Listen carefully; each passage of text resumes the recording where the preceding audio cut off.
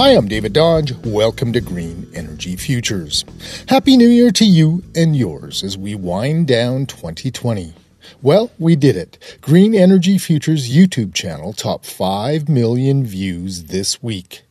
In part two of our 2020 wrap up, we turn our attention to the electrification of transportation. Norman Crowley of the Cool Planet Group of companies said it best in 2020. But if you look at the data, like if you're anyway financially astute and you look at the data around electric cars and you think ICE is going to be okay past 2030, you are you are not a good person at judging numbers, right? Because all of the graphs are just going in one direction right now. And so that's transport is done. Indeed, the auto industry pledged $300 billion to the development of 700 models of electric vehicles, mostly by 2025, just prior to last year. And if you missed our full length 48 minute interview with Norman Crowley last year, it really is an eye opener. Check it out on our YouTube channel. Electrification is also seriously expanding the possibilities of the lowly bicycle as a mode of transportation.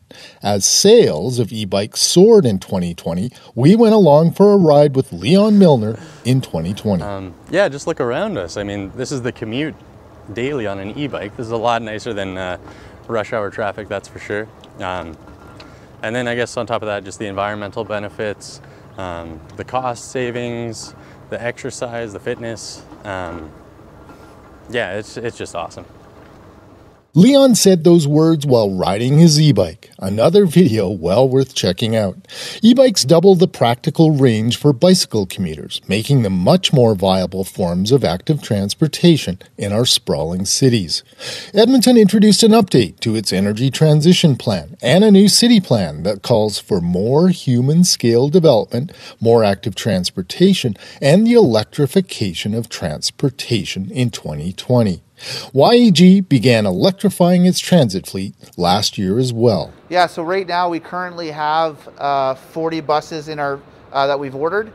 We have 33 on site as uh, right now, and then as we uh, explore our opportunities, we're able actually to take 60 electric buses in our fleet at any one time. And our fleet size right now is just under a thousand buses.